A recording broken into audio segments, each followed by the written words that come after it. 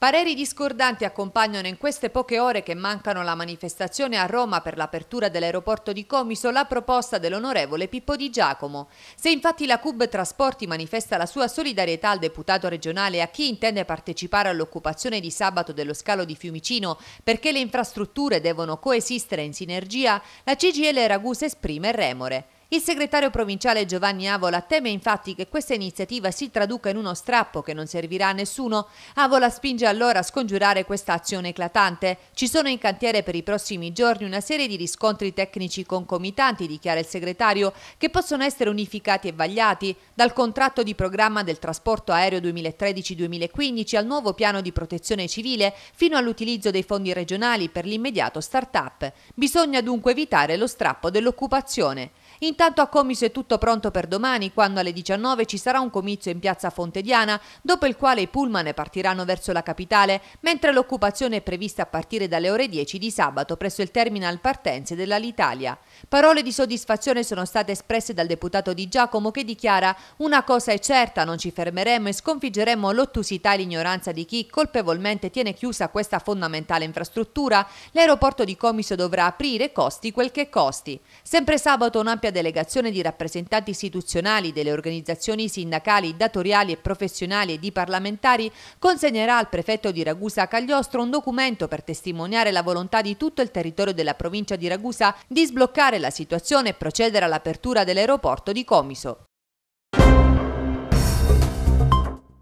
Lombardo stupisce ancora e nomina un nuovo assessore ad un mese dalle sue dimissioni. Non bastavano i nuovi dirigenti e il cambio di nomine ai vertici di consorzi e organismi vari. Il governatore della Sicilia vuole accanto a sé in questi ultimi 30 giorni di governo a Curzio Gallo, nominato assessore alla formazione e istruzione, che succede al dimissionario Mario Centorrino.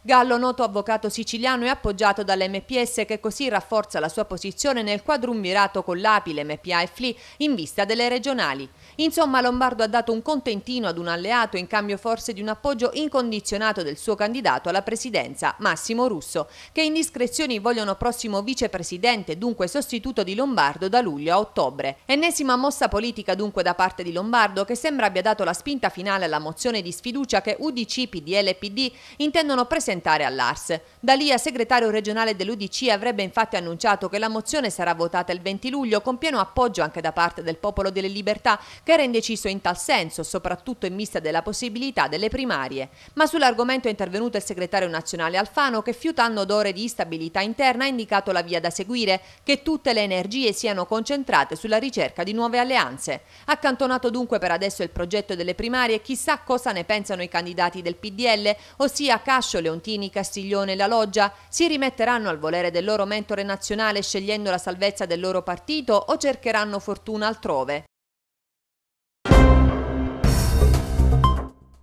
Partiti al lavoro per riempire le liste. Anche se ancora i giochi per i candidati alla presidenza della regione non sono conclusi, i vari esponenti politici che puntano ad uno dei 90 scranni di Sala d'Ercole cominciano a muoversi ed alcuni non tanto nell'ombra. Nella nostra provincia bisognerà eleggere 5 deputati regionali su 90. Sarà l'ultima volta perché dalla prossima legislatura scenderanno a 70. Ogni partito dovrà scegliere tre uomini e due donne da candidare. Iniziamo dal Partito Democratico. Qui la situazione è un po' come negli uffici postali. La fila è lunga. Gli uscenti Giuseppe Di Giacomo e Roberto Amatuna vorranno ricandidarsi.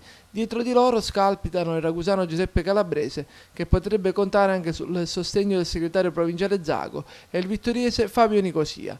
Insomma, tre posti per quattro uomini. Complicata anche la ricerca delle due donne. Tra le papabili Venerina Padua, ex consigliere provinciale, e Concetta Fiore, già candidata alle passate elezioni regionali per l'MPA. Secondo i ben informati, l'attuale assessore vittoriese sarebbe stata contattata proprio dall'MPA. Tra i possibili candidati degli autonomisti ci sarà l'assessore regionale Francesco Aiello, che ha abbandonato il progetto di Zamparini dopo l'incarico assunto all'interno della giunta regionale. Immancabile Riccardo Minardo, attuale deputato, sul quale però pesano i procedimenti giudiziari in corso. È quasi sicuro anche l'ex sindaco di Pozzallo Giuseppe Sussenti, ma anche l'MPA è alla ricerca delle due donne. Passiamo adesso al PDL. Qui la confusione regna sovrana. Se uno dei papabili è il deputato nazionale Nino Minardo, bisognerà capire se l'attuale capogruppo all'Arsi Innocenzo Leontini insisterà nel progetto del nuovo movimento avviato con il PID, abbandonando il partito ufficiale. Per gli altri posti in lista circolano i nomi del vittoriese Riccardo Terranova, del sindaco di Comiso Alfano, mentre per le quote rosa ancora nessun nome. In caso UDC Orazio Ragusa cerca la riconferma, ma potrebbe essere insidiato da Franco Antoci, ex presidente della provincia. Infine il neonato Movimento per la Gente. Sicura la candidatura di Nello Di Pasquale, si cercano altri quattro volontari per portare acqua al mulino. Mission di tutti è quella di superare lo sbarramento del 5% al livello regionale, non provinciale, lo ricordiamo. Insomma, per un movimento poco radicato nei vari territori, un'impresa quasi impossibile. Prima presa di contatto del commissario straordinario della provincia Giovanni Scarso con il comitato ristretto che ha seguito l'iter della Ragusa Catania. Alla presenza dei componenti del comitato è stato fatto il punto della situazione. Alla luce dell'incontro che nei giorni scorsi Scarso ha avuto con il dirigente generale dell'ANAS Settimianucci, che ha avviato e sta per concludere le procedure per la firma della concessione al pool di imprese che si è aggiudicato il progetto di finanza. Il primo passaggio è appunto la firma della concessione, poi bisognerà presentare da parte del concessionario il progetto definitivo e quello esecutivo esecutivo, prima di un ultimo passaggio al CIPE per il via libera definitivo.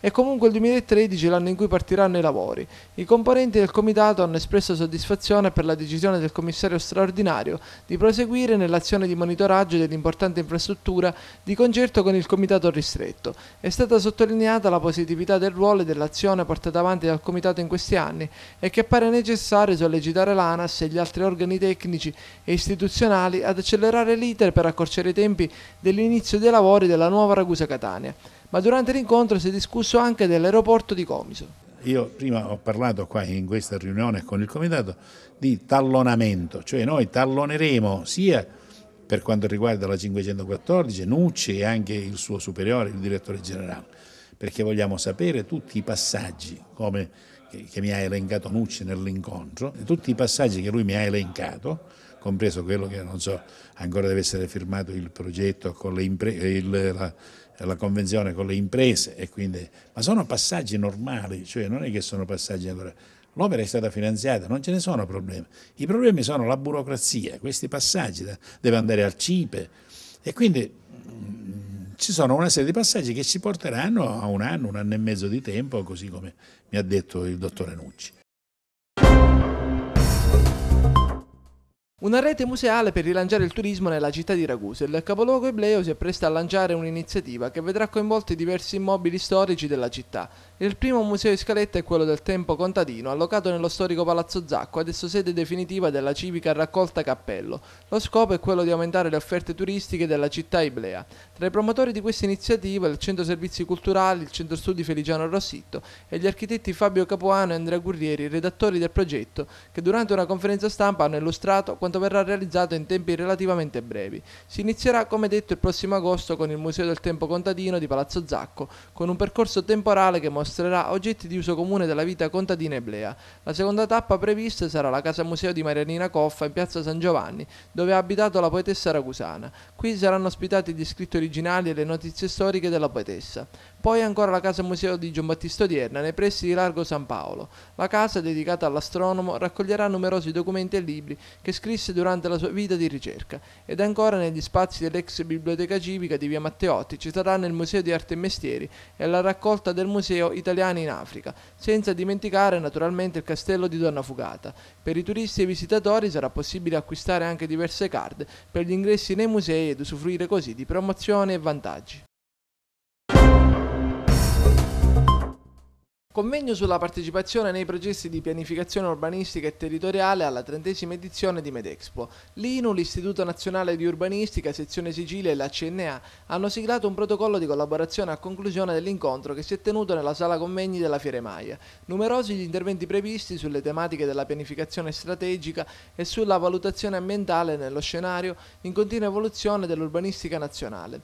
Il tema della partecipazione nelle forme classiche del coinvolgimento dei cittadini nelle scelte decisionali, si legge in una nota dell'INU, è stato sempre per gli urbanisti un campo privilegiato di ricerca che ha prodotto importanti sistematizzazioni teoriche e interessanti sperimentazioni empiriche. Solo raramente però, almeno in Italia, le sperimentazioni sono uscite dai confini dell'utopia e a produrre risultati rilevanti e ripetibili e tantomeno hanno consentito di pervenire ad una qualche codificazione operativa. Secondo l'INU, coinvolgere gli attori sociali ed economici nei processi di formazione degli strumenti di pianificazione urbanistica e territoriale non è certamente un esercizio esercizio fine a se stesso, dal momento che serve a ridurre i conflitti e ad assicurare politiche e processi decisionali efficaci e trasparenti. La partecipazione implica la possibilità che i cittadini partecipino ai processi di pianificazione collaborando definitivamente con il progettista stesso.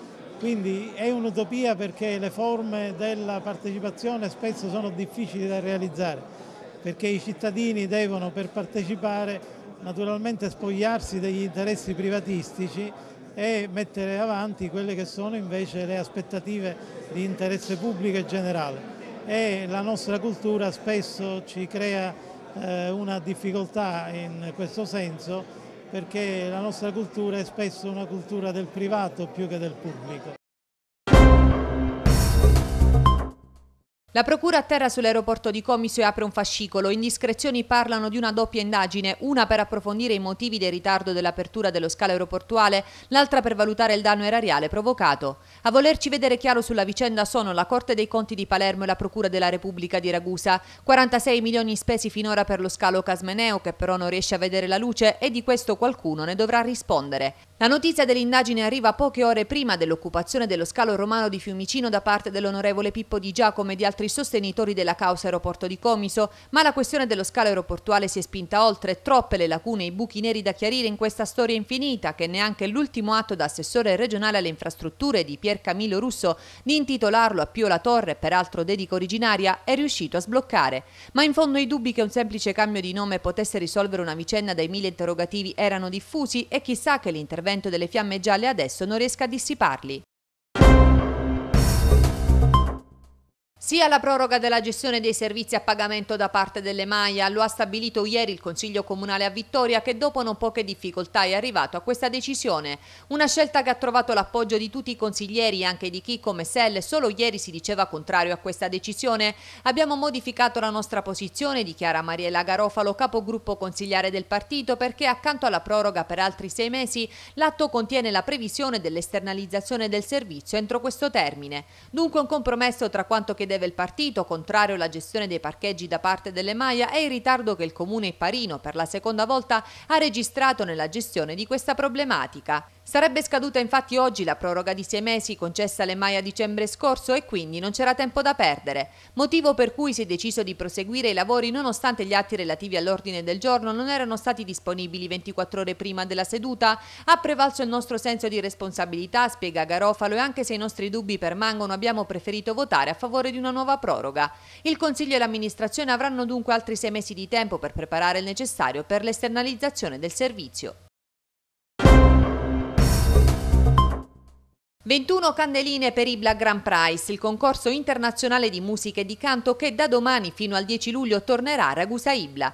Ieri durante la conferenza stampa di presentazione dell'appuntamento sono stati rivelati i momenti più interessanti del concorso, come il concerto Ibla Africa di martedì 3 luglio a Villa Criscione per la consueta raccolta fondi di beneficenza da destinare ai padri carmelitani che operano in Madagascar e l'iniziativa di giorno 8 luglio con Ibla World in onore della baronessa Costanza Arezzo Giampiccolo di Donna Fugata. Anche quest'anno toccherà alla giuria internazionale, presieduta dal maestro Marcello Abbado, scegliere i migliori concorrenti che in premio avranno la possibilità di esibirsi alla Carnegie Hall di New York e in altri teatri di prestigio nelle principali capitali del mondo. Nota dolente ridotto numero di partecipanti che quest'anno saranno la metà rispetto allo scorso anno, causa la carenza dei contributi pubblici e la cancellazione di ben 2500 presenze turistiche a causa, dichiara il presidente della Fondazione Ibla Salvatore Moltisanti, di scelte errate e poco chiare dell'amministrazione comunale e del suo sindaco Di Pasquale. Noi siamo in una crisi particolare perché il Libera Compress è stato ucciso già l'anno scorso, non, abbiamo,